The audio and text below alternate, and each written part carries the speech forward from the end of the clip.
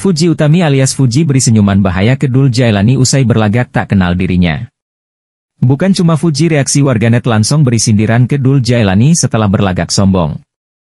Seperti yang kita ketahui kehidupan asmara selebgram Fujianti Utami selalu menarik perhatian netizen. Fuji beberapa kali dikabarkan dekat dengan beberapa pria muda dan tampan.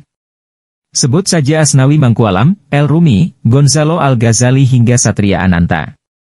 Meski demikian, Fuji tak pernah-pernah menampakkan bila dia sedang berpacaran dengan sosok tersebut.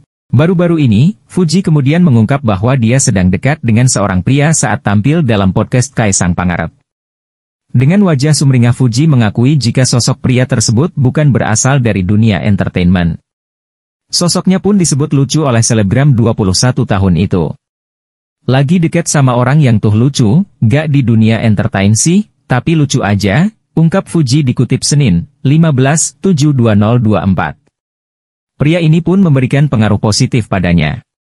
Fuji mengaku tak lagi memikirkan komentar toksik dari netizen. Aku tuh pas lihat komentar netizen jadi lucu semua gara-gara mencerminkan dia-dia aja gitu loh. Jadi aku anggap semuanya lucu, ungkapnya sambil tersenyum. Sebelumnya, Fuji sempat berpacaran dengan Tarik Halilintar. Namun, jalinan asmara itu kandas lantaran Fuji tidak ingin nikah muda.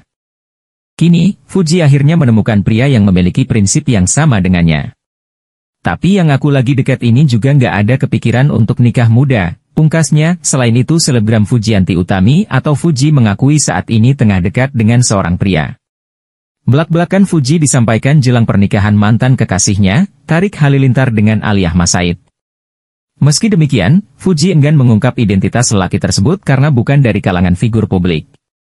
Fuji cuma bilang kalau pria tersebut humoris sehingga membuatnya nyaman selama pendekatan atau PDKT. Orangnya tuh lucu. Dia nggak di dunia entertainment sih, tapi lucu aja dia orangnya, ujar Fuji dalam sebuah wawancara. Fuji menegaskan, dia dan pria itu belum berpacaran. Dia juga tak mau dijodoh-jodohkan. Kalau pacar sih belum ada, aku masih pengen santai-santai sebenarnya, ngapain sih dijodoh-jodohin, ucap Fuji. Lebih lanjut, Fuji juga menerangkan jika dia masih ingin menikmati masa mudanya.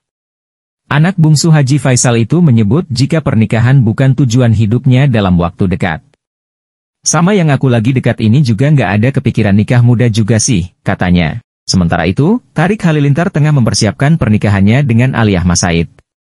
Tarik bahkan mengungkap jika persiapan pernikahannya telah mencapai 80%. Selain itu Fujianti Utami menjadi bahan bulan-bulanan netizen di media sosial lantaran penampilannya. Bagaimanapun adik almarhum Bibi Ardiansyah tersebut berdandan dan memakai busana yang bagus, ada saja netizen yang nyinyir dan mencari celah untuk menghujatnya.